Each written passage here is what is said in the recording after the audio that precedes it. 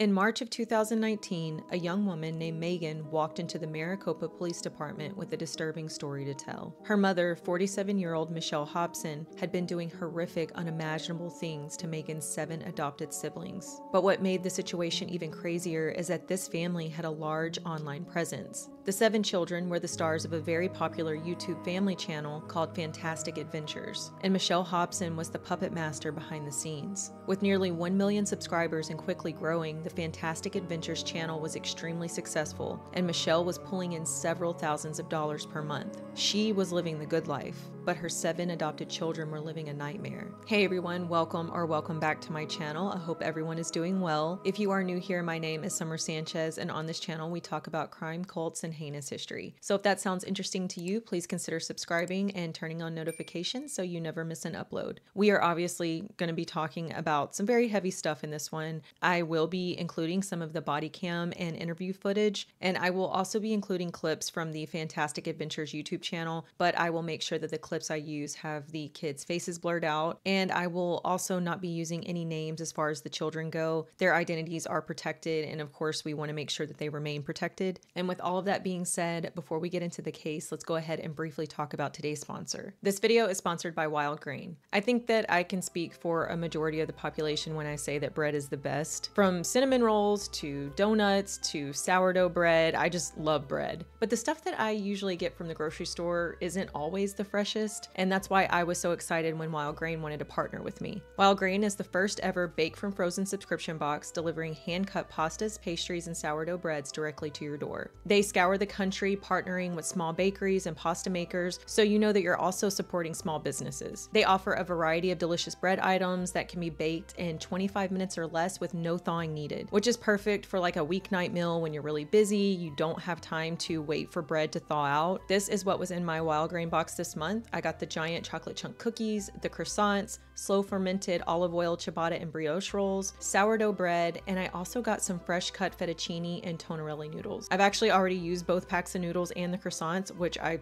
forgot to get footage of, but today I'm baking the sourdough bread just as a snack. It's not even for dinner or anything, I just felt like having some bread. I took the bread directly out of the freezer, popped it into the oven, and within about 20 minutes, I had delicious fresh sourdough bread. The bread is absolutely delicious and my house smells so good. I think the next thing I want to try is the maple Belgian waffles. They look amazing. Plus, I just love breakfast food. I could eat breakfast food for all three meals. I also like that Wild Grain donates meals to the Greater Boston Food Bank. They've already donated half a million meals. And you can get started with your own Wild Grain subscription by clicking the link in the description box or go to wildgrain.com slash sommer and use my code sommer to get $30 off your first box. Plus, you'll also get free croissants in every box for life. Thanks again to Wild Grain for sponsoring this video, and now let's get into today's case. Machelle Hobson's early life is a bit of a mystery. In fact, I don't even have a birthday for her. I think she was born in 1971 in Arizona, but even that I'm not 100% on. We don't know anything about her home life, her parents, her upbringing. As of right now, Machelle Hobson is still a total mystery. But we do know that she was well liked in high school. According to her ex husband, she was smart, she was popular, she was outgoing, and that's all we really know. So now we are jumping ahead to the mid 1990s, and Machelle is now in her mid 20s. And this is when she meets a man named Gino Valerio. Gino and Machelle actually attended the same high school, but they didn't really know each other. They knew like of each other, but they weren't friends. They didn't hang around the same crowd. Gino has said that he was in the nerdy crowd and Machelle was in the popular crowd. And so they knew of each other, but that was really it. After high school, Gino went into the Marines, and when he came back, he was struggling. He suffered from PTSD and addiction. He was just sort of floating aimlessly through life, you know, he was struggling. And then a friend offered to set him up on a blind date with a woman, and that woman just so happened to be Machelle Hobson, the popular outgoing girl that he recognized from high school. Machelle and Gino hit it off. Machelle helped Gino get the help that he needed to deal with his PTSD. She helped to get him clean, she helped him find a job. She really motivated Gino to turn his life completely around, and that's exactly what he did. And so their relationship relationship got more and more serious as time went on. Then, about a year into the relationship, Machelle found out that she was pregnant. Now, the relationship was going really well at this point, so they were probably going to get married anyways. So, this pregnancy just sort of sped things up a bit. So, in 1995, Machelle and Gino got married. But something really strange happened the day of the wedding. So, the morning of the ceremony, Gino noticed that there were two little boys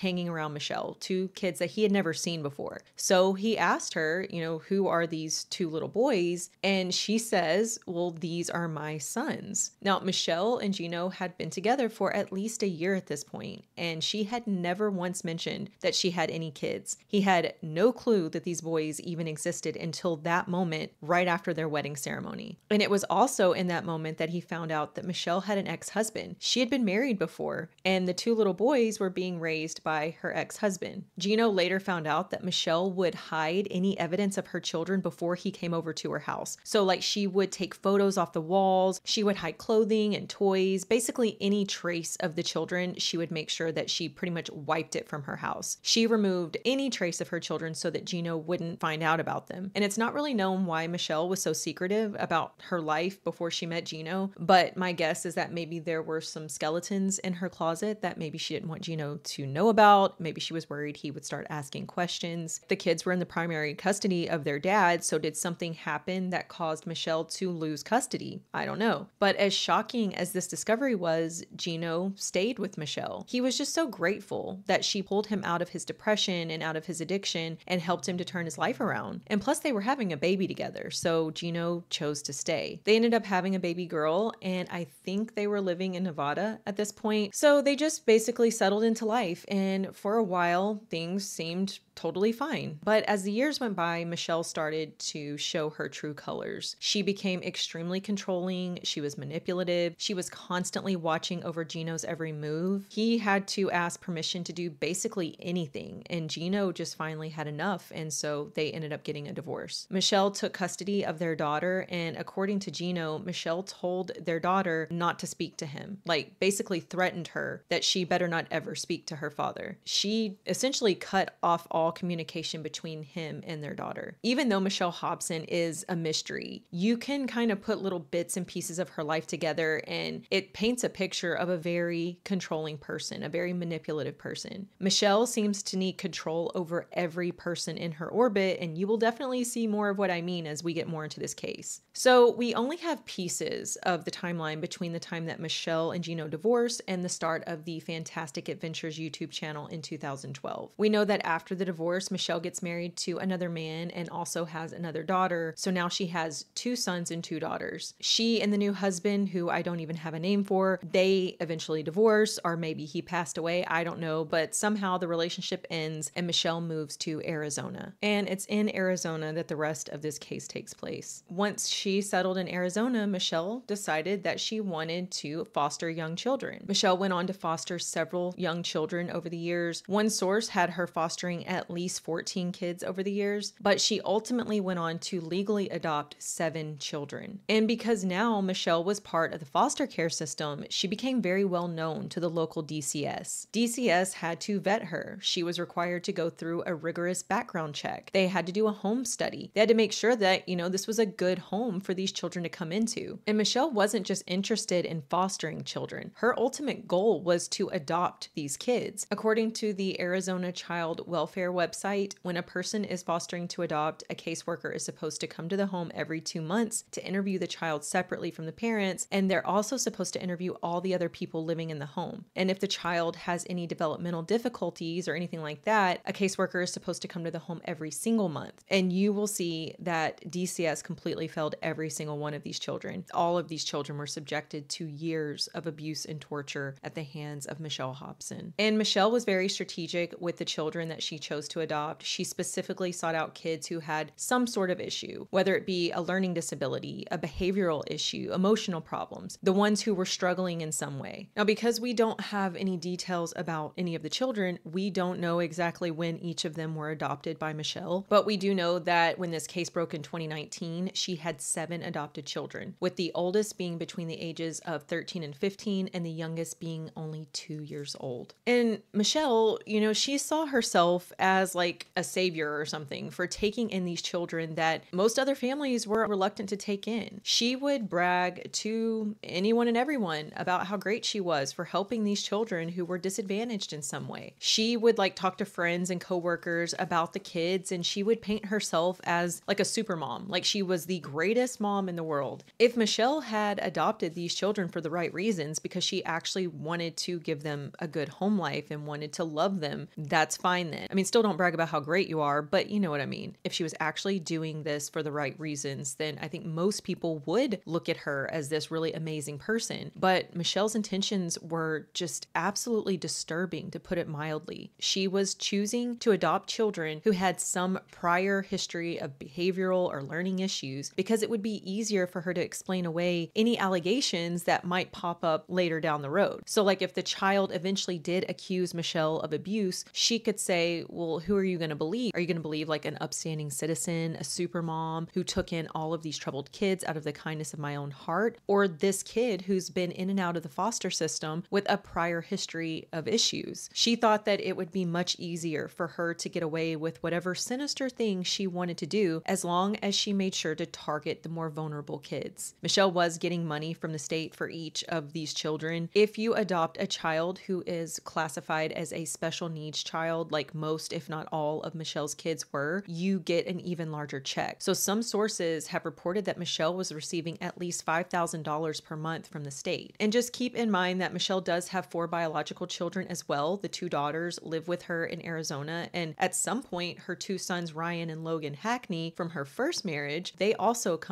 and live with her in Arizona. So she's got a full house. And once her foster kids were officially her adopted kids, she would use them and abuse them in every way imaginable. And unfortunately, this went on for years. So, first of all, Machelle was just overall neglecting the kids. She didn't wash them, she didn't keep them in clean clothing. And for the little ones, she didn't change their diapers frequently. So, they would get these very painful rashes. She also did not feed the children properly. They would typically only be fed twice a day, and these were not proper meals. These would be like small food items, more like snacks. There was always a ton of food in the house. The fridge and the pantry would be just completely full with snacks and just various food items, you know, cereals, chips chips, cookies, everything, anything that a kid would ever want. But Machelle would not allow them to eat any of it. They were only allowed to eat if she said they could eat. And so Machelle was only giving them a very small amount of food a couple of times a day. She also did not tend to their medical needs. She didn't take them to the doctor or the dentist. The children started having really bad dental problems because Machelle just wasn't tending to them the way she should. Machelle also disciplined the children in very cruel ways. Machelle had installed locks on the outside of most of the doors in the house, and if the kids misbehaved, she would put them into a room and she would lock them in from the outside. The children would be crying and begging to come out, and Machelle would just leave them in there for hours. She also routinely beat the children when they misbehaved, and she didn't give them attention or love. These were children who had been through so much in their lives already. Some of them had come from a very traumatic past. They had a very traumatic start in life, but they had been taken from one terrible situation and placed in another. In 2012, Machelle decided to try her hand at becoming a content creator right here on YouTube. This was around that time that a lot of family channels started to pop up on YouTube, and Machelle wanted in. She saw how lucrative a family channel could be. Those types of family channels can usually pull in a lot of money. They tend to get larger brand deals. They are advertiser friendly because their content is geared towards kids, so they're also making more in ad revenue. Some family channels pull in millions per year, and Machelle saw her opportunity to get in on the action. So in 2012, Machelle launched the Fantastic Adventures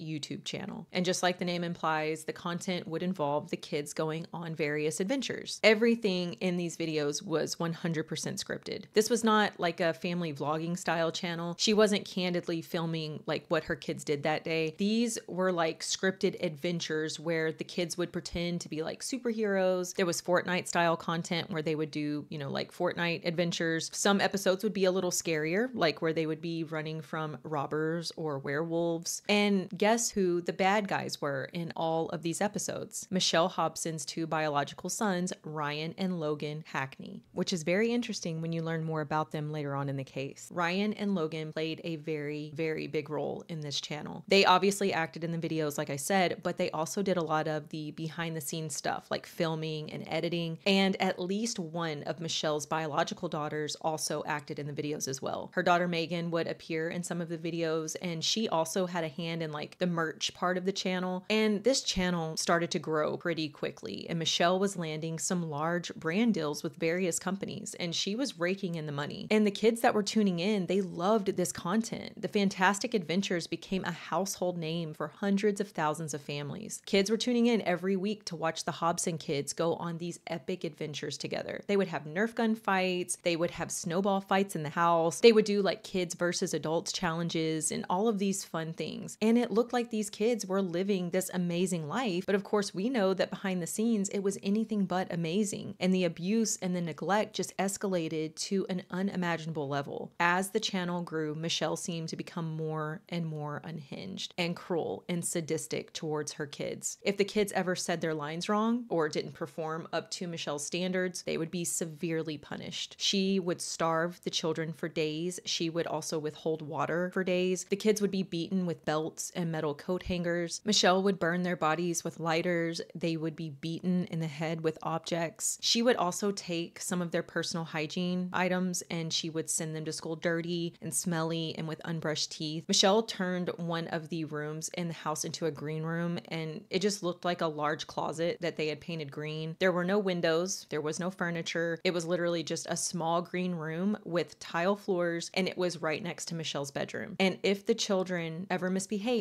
or they didn't perform the way she thought they should, multiple kids would be locked inside of that green room for days. They would have to sleep on the cold, hard tile floor with no pillow and no blanket. And Machelle wouldn't even let them out to go to the bathroom. She would make them strip down and put on a pull up, and then she would lock them inside. And the children would start to lose track of time because there were no windows. They couldn't see what time of day it was. There was one single light source in the green room, and it was just an overhead light on the ceiling. But Machelle would even unscrew the light bulb so the children would have no light at all. So they would just be sitting in total darkness for hours or even days, sleeping on the cold, hard floor, forced to sit in their own waste. And the kids would hear Machelle moving around in the house and they would just be begging her to let them out, but she would just ignore them. As the channel really started to take off, Machelle decided to pull her kids from public school and homeschool them herself. She did not actually teach them anything. They never did homework, they never had lessons. Their sole focus was their YouTube channel. That's all Machelle cared about at this point. They had absolutely no life outside of the Fantastic Adventures YouTube channel. The neighbors later reported that they never saw the kids outside unless they were filming. Yeah, but those little kids, the only time I ever saw them out was getting out of their car, going in their house, or in the back when they were shooting their videos. It's shocking, yeah. I had no clue at all. Lisa telling us she once found Hackney's keys. She claimed online she needed them because it was to a locked box for medication. Now it makes me think was it keys to possibly a locked door where kids were? Makes you really wonder, like, what's going on around you. School had been their only escape from this nightmare that they were living at home. And then that was taken away from them too. So now they're either filming or being tortured, abused, and starved. That's it. That's all they had. And Machelle didn't just pull them from school to make videos, she also pulled them from school because she was starting to get nervous about all of the allegations of neglect and abuse that kept popping up, which we will talk more about later. And once she had the kids trapped in the house every single day, away from the watchful eye of teachers, and daycare workers, she upped the abuse even more. She forced the kids to do everything for her. They cooked for her, they cleaned for her, they did everything for her. Machelle also installed cameras around the house so she could keep an eye on the kids at all times. Machelle would just sit all day long, eating, working on YouTube stuff, watching the cameras, and chain smoking cigarettes while they did all the work in the house. So, like I said, the abuse just got so much worse once the kids were no longer in school. One of Machelle's favorite forms of punishment at this point involved forcing the kids to strip down completely naked, put on a pull up, and then stand in the corner with their hands up above their heads for hours. And they weren't allowed to move until they received a beating from Machelle. One of the children said that they were forced to stand there completely naked in the corner with their arms up for 18 hours. Machelle really had a thing about forcing the kids to strip down naked. Several of the kids reported having to do that on multiple occasions. One child said that Machelle touched him inappropriately. And she would also pinch the boys on their genitals with her fingernails until they started bleeding. But the kids would all say that the worst form of punishment that they received was the pepper spray and the ice baths. Machelle would force the kids to strip down naked and she would spray them all over their bodies with pepper spray. And this includes their genitals. She would put a lot of emphasis on pepper spraying their genitals. And the children were not allowed to wash off the pepper spray for an entire day. She would make them leave it on. And she would also use ice baths as a form of punishment. She would either fill up a bucket with ice water and then dump it on top of the kids, or she would fill up the bathtub with ice water and she would force their heads down into the water until they were like basically drowning. And while all of this horrific abuse is going on behind the scenes, their 800,000 subscribers are being shown this fun, happy little fake world that Machelle Hobson has manufactured. These kids were living a literal nightmare nearly every single day of their lives, but the world saw the exact opposite. Under their channel description, Machelle wrote, We're fantastic adventures. We're a family that's full of unique and special kids. We started making these videos for fun, but fell in love with making them and now do it every week for you guys. And the only time that the children were ever treated like actual human beings, the only time that they were ever shown even like an ounce of care was on filming days. On filming days, they were allowed to go outside, they were allowed to play, they were allowed to have snacks. And I would imagine that this is probably the only time that they ever felt like they were actually making their mother proud. But in the back of their minds, they knew that filming day could end badly. If they forgot their lines, if they didn't perform up to Machelle's standards, they knew they were going to be in trouble. The Fantastic Adventures YouTube channel has been deleted. These videos are no longer available on YouTube. And the only clips that I have seen had the kids' faces blurred out. So I've never seen like the expressions on their faces during these skits. But some people have said that the kids look worried. They looked like they were focusing really hard on delivering those lines perfectly. And of course, we know now that they were terrified. They knew what would happen to them if they didn't do a good job. So, like I mentioned earlier, daycare workers and teachers had noticed some concerning things over the years, and they reported Machelle to DCS on multiple occasions. And there were actually times that the kids themselves went to an adult and told them about the abuse, but nothing was ever done. In fact, between 2011 and 2019, Machelle had been reported to DCS at least 11 different times. And each and every time, the findings came back unsubstantiated. And just prepare yourselves to be really angry. You're already angry with Machelle and her two grown sons who are witnessing the abuse and doing nothing about it, but just get ready to be absolutely infuriated. So, the first time Machelle was reported to DCS was in April of 2011. A babysitter for the family became concerned when she witnessed Machelle locking the kids into a bedroom and just leaving them there crying to be let out. She also told DCS that Machelle didn't properly feed her children. She didn't cook them food. She wasn't providing a healthy atmosphere for them. And she was just overall concerned about the well being of the children. So she reported all of this to DCS, and the findings came back unsubstantiated. The second report came in May of 2013. One of the children got up the courage to tell a teacher that Machelle was forcing her to stand in a corner every day after school for hours and would make her beg for food. A third report was called in just a couple of weeks after the second one. One of the girls told a teacher that her mom had taken away her toothbrush as a punishment, and that was why she had gunk on her teeth. Now, this teacher had known this child for about three years, and over the course of those three years, she had noticed things here and there. The teacher noticed that the girl was usually sent to school dirty, wearing clothes that didn't properly fit. Just she seemed overall neglected. And the findings for the second and the third reports were both found to be unsubstantiated. And it was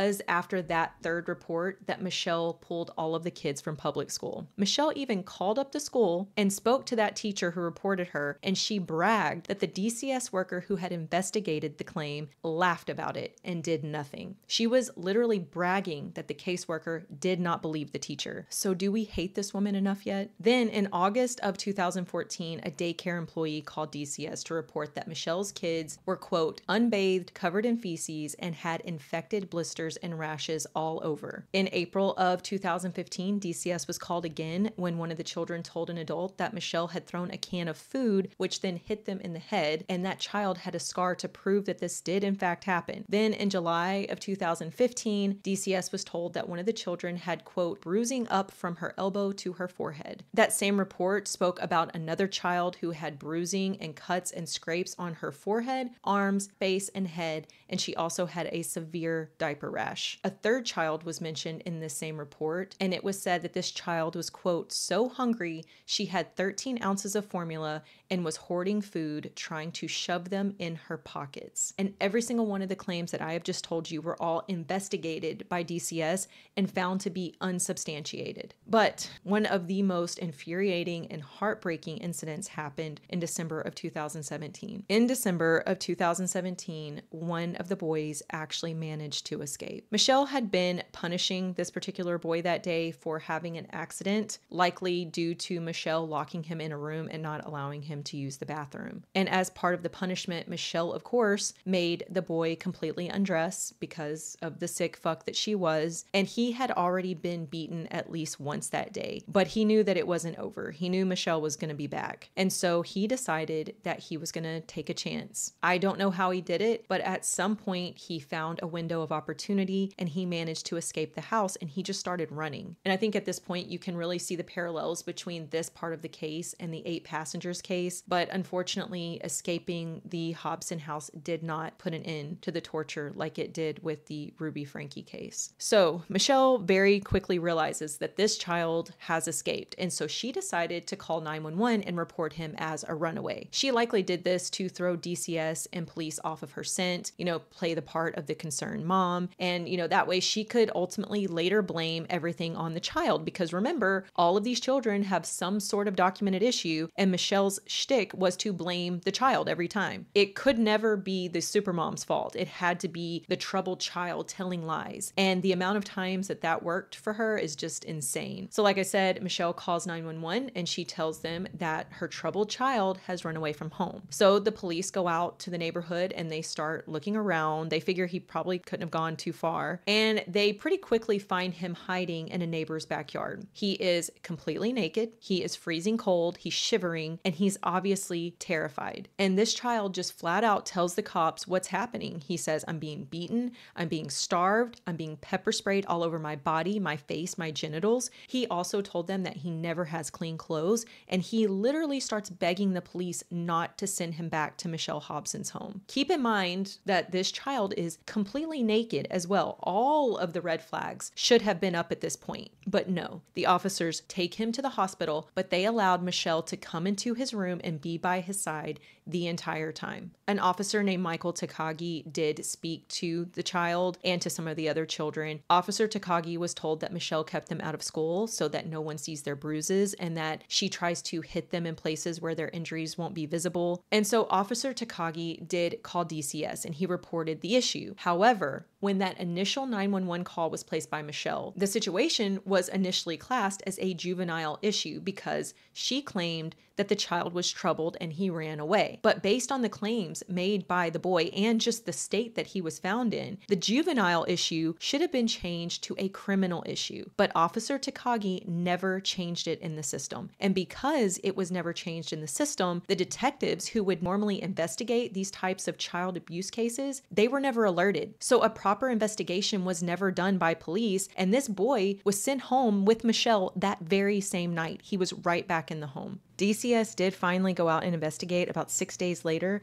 and before they went out to the house, they were told, quote, Hobson locks kids in the closet upstairs in her room for 90% of the day. There is a reverse lock on the door, so they are unable to get out. She only feeds them every two to three days, and she takes away their water privileges. She hits them in the head and pulled them out of school. Hobson is reported to no CPS and will brief the children and tell them that she will hurt them if they say anything. But even after all of that, the claim was still found to be unsubstantiated. Once again, Machelle told the same old story. She was the best mom in the universe, and these were just troubled kids. And who are you going to believe? Are you going to believe them? Are you going to believe me? And it worked like a charm for her every single time. These children were literally crying out for help. They were bravely speaking up and they were telling people what was happening in the home. But time after time, they were just ignored and forgotten. And you can only imagine how much Machelle tortured those kids after all of these these claims, especially after the escape. One child later said that after the police left, she made me stand for hours with my hands up. Another child later said, Mom got mad at us and she put us in that room for a really long time. So we all got scared to tell again because that was after the cops came once. Just an absolute failure of the system. The situation in 2017 should have been the final straw. I don't know how much more obvious it was that this woman was a fucking monster, but instead, this abuse went on for another year and a half. And all the while, Machelle Hobson is growing her YouTube channel, getting more elaborate with the stories and the special effects, getting better equipment. She's making huge brand deals. She's sending emails to Disney trying to partner with them. That was like her golden goose. She thought that if she could partner with Disney, she would be like YouTube family channel royalty. And by 2019, Machelle was even in the process of buying a house in California so that she and the kids could be closer to Disneyland. She had big plans for the future of Fantastic Adventures. She was probably thinking about all the fun videos that she could film in Disneyland. But thankfully, Machelle Hobson's reign of terror is approaching an end. So by 2019, both of Machelle's biological daughters had left the home. They hadn't lived there in a couple of years. The boys, Logan and Ryan, still live in the home, but the girls are gone. At least one of the daughters, Magen, would still appear in videos occasionally and she would help with merch. I'm not sure how involved the other daughter was with the channel. I don't know if she was involved at all with the channel, but both of them were pretty far removed from the day to day life in the house at this point. Well, one day in March of 2019, Machelle asked her daughter Magen to take one of the adopted girls to the dentist. Machelle had neglected the kids' teeth for so long that they were starting to rot, so I guess she figured that she really needed to do something about it finally. But of course, she couldn't be bothered to take her daughter to the dentist herself, so she asked Magen to do it. But I am so glad that she did ask Magen because it was after that dentist appointment, while they were driving back home, the little girl started confiding in her older sister about everything that was happening in the home. Now, from what I gather, it seems like the two biological daughters knew at least some of what was happening, and they had actually reported Machelle to DCS themselves.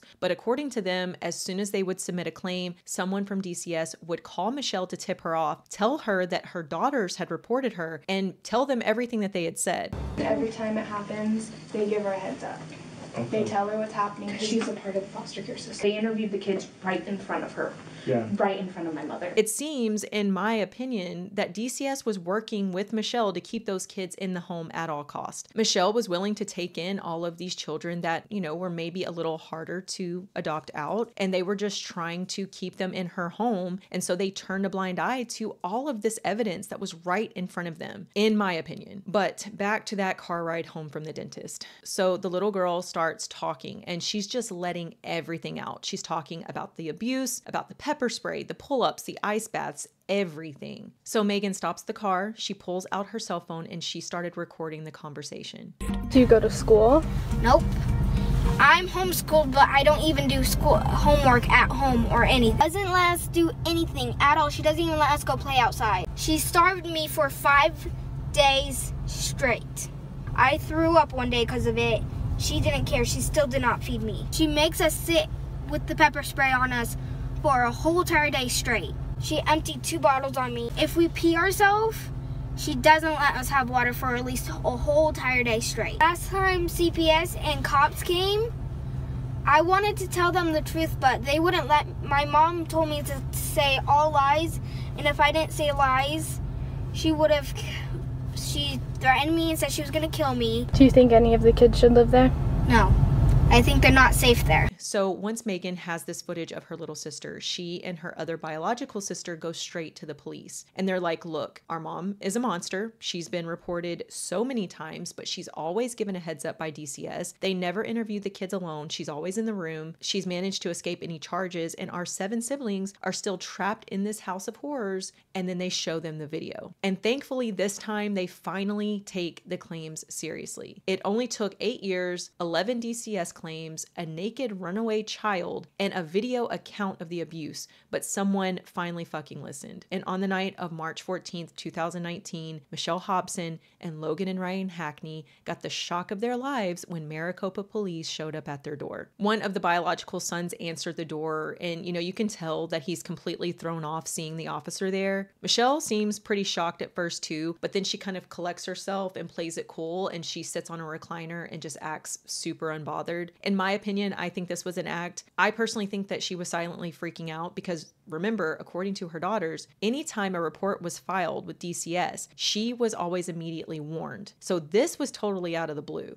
But either way, she sits down on the recliner and she just tries to act calm and collected. I spanked the child. Like, what? No crime in the house? Oh. No. You're not telling me what was said. No, I'm not going to tell you because there's an investigation. And while an officer is talking to her upstairs, there are other officers downstairs checking out the house and looking for the kids. And the state of this house was disgusting. They had two clean rooms, which were presumably the rooms that they planned to film in, but the rest of the house was filthy. There were piles of clothes and trash, just junk in most of the rooms. Most of the kids did not have beds, they didn't have mattresses. The kids themselves looked very pale, they were very frail and malnourished. They had dark circles under their eyes. There were some kids that were found in pull ups, and these were older children. So it just seemed off to the officers that they should be in pull ups. And so the officers started conducting these short little interviews with some of the children. And the next clip that I'm about to show you completely broke me. It's just absolutely heartbreaking. So you can see in the body cam footage that the officer is talking to a little girl in the pantry. It's like a walk in pantry and it's full of food, you know, chips, cookies, cereals, tons of stuff. And the officer tells the little girl that she can get herself a snack because he knows that these children are being starved. He knows that she's hungry and they are literally surrounded by food. So he says, you know, get you a snack, grab you something, grab some chips if you want. But this child was terrified. She was so afraid to get a snack because she knew what would happen if Machelle found out. We're going to protect you. Is there anything in here that you want to eat right now while we're waiting? Is seriously anything? Look, you got some chips. No, she's not. No, she's not. No, she's not. You are not going to talk to mom right now. I love you, and I don't even know you.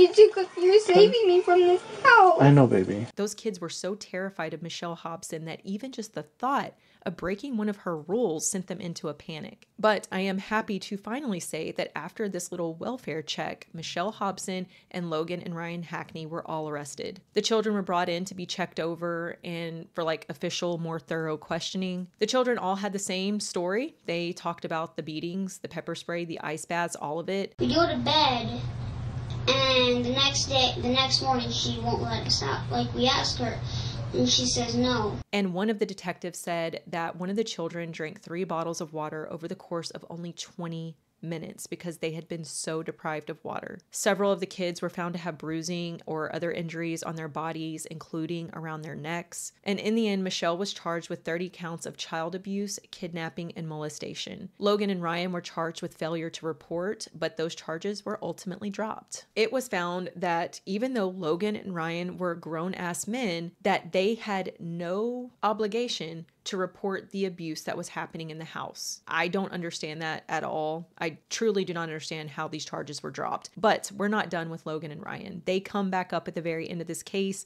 And let's just say they are also both despicable pieces of shit. Machelle pleaded not guilty, so the case was set to go to trial, but Machelle Hobson actually died on November 12, 2019, so she didn't live long enough to stand trial. The reports say that she had a head injury while being in jail. Some say that she had a stroke, but she ended up on hospice and she started refusing to eat or take her medication, and so she ultimately died. Machelle had maintained her innocence before her death. She was even recorded during a phone call to her father saying that the kids love filming. They would beg to film these videos. As a matter of fact, I would be like, okay, um, you know, like if you're in trouble next week, you can't, you don't get to be in the videos, and that would be encouraging to them. It's so funny because I read the things and I'm like, are you guys, you guys have no facts here. They just slap a bunch of on paper and then they go, here's your charges. And I raised those kids. So you tell me I'm this horrible, vicious person. Let's go to court and let's play this out because I've got I've got documentation. They don't. She also was recorded saying that she had a whammy for the state of Arizona. So, was this whammy that she was going to try to die before trial? Did she play a role in that head injury? She had stopped eating and medicating, so was she maybe trying to ensure that she would be dead before ever having to serve a sentence? They better figure it out because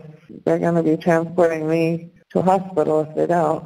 I, I'm not doing well. Machelle always had to have control over everything. So maybe this was like her way of having the ultimate control over her future. She wasn't going to let a jury have the final say. She was going to decide her own fate. Or maybe she just had a stroke and died. I don't know. But either way, Machelle Hobson is dead, and that's all that matters. After her death, the charges against Machelle were ultimately dropped. And many people were very upset that she was dead and she would never, you know, really have to face her victims or listen to their accounts and most likely spend several years in prison. But other people pointed out that this was actually a good thing because the children would now not have to testify. They wouldn't have to go through that trauma of seeing Machelle again and having to, you know, give their account in front of a courtroom full of strangers. And as far as the kids go, of course, their identities are protected as they should be. So we don't know exactly where they are today. The last update that I saw, two of the kids went to live with a relative of Machelle's, and the other five were placed in new homes. Wherever they are today, I hope that they are doing well. I hope that they can somehow overcome this horrific chapter in their lives. And I hope that they finally have the life that they deserve with families who truly love them. And after this case broke, the question was asked how did this manage to go on for so long? Adopted, abused, and abandoned. Seven kids placed in the care of Machelle Hobson, who became known as YouTube Mom after her 2019 arrest. The horrors Hobson was accused of shocking not only our state, but the country. And now, ABC 15's Zach Crenshaw has uncovered the state was told repeatedly about the abuse and neglect years before her arrest. For nearly a decade, at least seven kids the Arizona Department of Child Safety was charged with protecting said they were starved, beaten, burned, pepper sprayed, and pulled from school. We didn't get a single record from DCS, but we got enough from Maricopa police reports, going over hundreds of pages and photos, as well as hours of body camera footage that reveal DCS failed to remove the kids, despite nearly a dozen detailed reports. This is as bad of a case without any fatality as I can remember ever reviewing. DCS was now under fire. The Maricopa Police Department was now under fire. And things just got worse for them when it was discovered that Machelle had been reported at least 11 times over the years. And that incident in 2017, the one where the boy escaped, completely outraged everyone, which then forced Maricopa Police to do an internal investigation into that situation. It was found that Officer Takagi failed to reclassify the incident as a criminal issue Takagi's Lieutenant Mary Turner failed to review the report and to catch the mistake. And do you want to know what their punishment was for causing a nearly two year delay in the arrest of Machelle Hobson? Suspension without pay for 10 hours. That was it. And DCS never really owned up to anything at all. They released a statement, and I'm not going to read the entire thing, but I want to at least mention this part. I wish someone would have detected these alleged horrors sooner. No one did, but we know someone did. A lot of people did. Like a bunch of people detected the horrors and they were told about it 11 separate times. At DCS, we are committed to protecting children and in some cases, finding them a loving adoptive family. Foster parents, DCS, and all of the aforementioned system partners dedicate their lives to preventing and healing the suffering that comes from human frailties and evil. Can we all do better? Should we aspire to continuously improve? Of course. But these issues are much more complex and require more than just blaming one entity within an entire system of care and community. So, no accountability whatsoever. At the very least, an internal investigation should have been conducted within DCS to see who exactly dropped the ball 11 times. To my knowledge, there has never been an internal investigation done, and so that was that. And this brings us to the Logan and Ryan Hackney case that just continues to unfold. So, like I said earlier, those charges of failure to report were dropped back in 2019.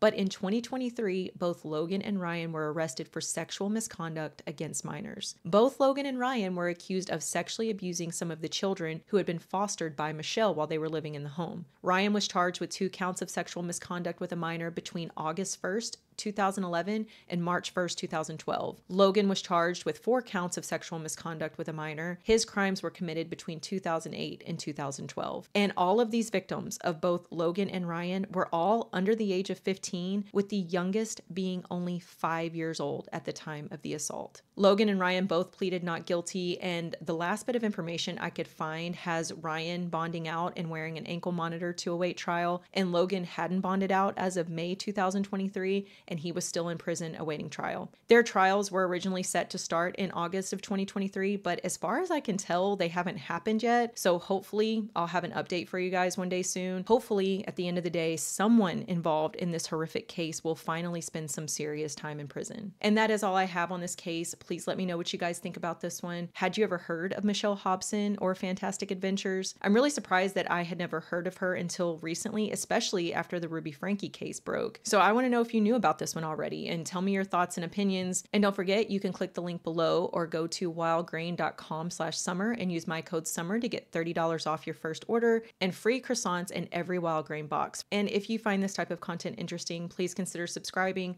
liking this video, and commenting. It's the easiest way for you guys to support me and my channel. And as always, I appreciate each and every one of you for watching. I'm going to go hug my children now, and I will see you next time.